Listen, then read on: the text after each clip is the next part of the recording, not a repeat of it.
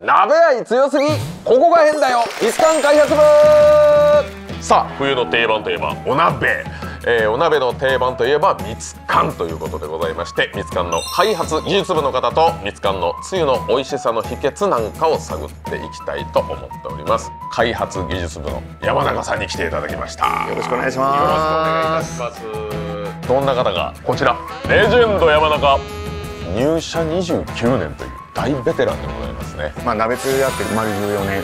いろんな製品に携わっておられるっていうミツカンの心臓だもん。通り名もあるということでこちら。絶対味覚保持者。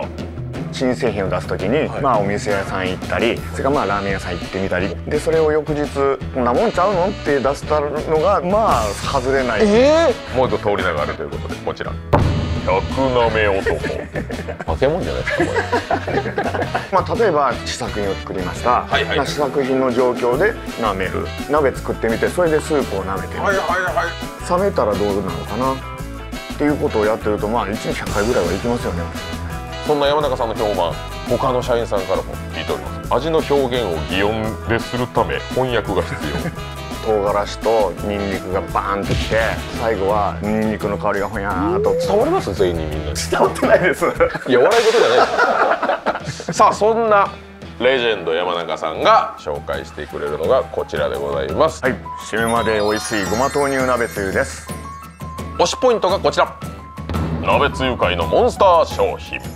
約10年間、はい。えー、ナンバーワン1億食突破。ちょっと味に対しての解説をもう少しお願いしていいですか？味覚曲線って呼んでる。味覚曲線？えっ、と設計図になります。口に入れる瞬間の先味。でそれからはい。こう食べながら中に進めた時の中味。でそれから飲み込む直前の後味。そうそう野球でいうと先発中継ぎ抑えみたいなのを そうですね。ちゃんと決めてるんだ、はい、すごい計算してますねさあということで締めまで美味しいごま豆乳鍋つゆ完成しました。はいうまそう。もうこれがレジェンドの出汁ですよね。まあほんと最高っすね。やっぱごまと豆乳のバランスが。あありがとうございます。あのごまがポンってきてる感じ分かってもらえます。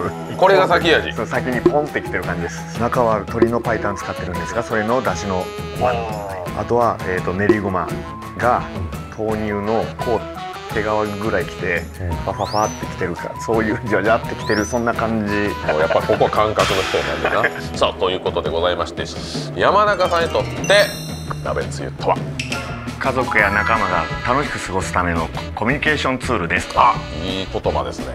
楽しむために鍋作ってもらう。でで楽しみたいからじゃあ今日は鍋だからじゃあ早く帰ってこようか。そういうツールに使っていただきたいということ、はいはいここが変だよ。ミツカン開発部。いやー鍋愛強すぎでした。